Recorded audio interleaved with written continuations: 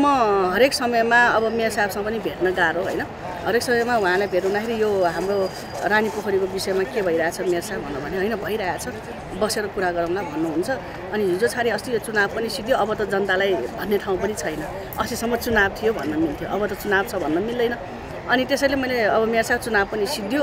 अब हाम्रो यहाँ बाना लाउने ठाउँ पनि छैन अब विकासतिर लम्किनुपर्छ अगाडि बढ्नुपर्छ भनेर भनेको थिएँ। अनि उहाँले चार दिन अगाडि एउटा कार्यक्रममा मैले भेट गरेँ। भेट हुँदाखेरि उहाँले के रानी पोखरीको विषयमा तपाईँ र म भोलि बसौँ भन्नुभयो ओके म त एकदम तयार छु नि खुसी छु नि होइन। अनि त्यसपछि जाउँ भन्ने कुरा गर्नुभयो। म एक दुईवटा कार्यक्रमहरू चाँचाले सिध्याएर मेरो साहबले मलाई कतिखेर बोलाउनुहुन्छ र म दौडेर हिँडिहालौँ भनेर म अफिसमै आएर बसेँ।